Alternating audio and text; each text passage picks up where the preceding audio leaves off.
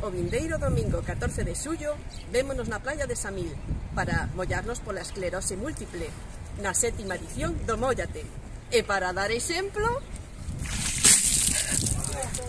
Esperámoste durante todo o día na piscina de San Remo con actividades para todas as idades.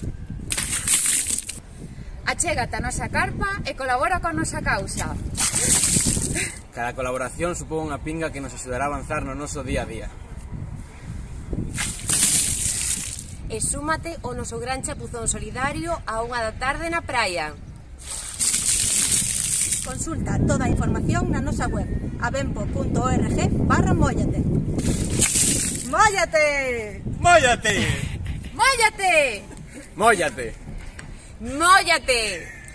¡Móllate! ¡Móllate!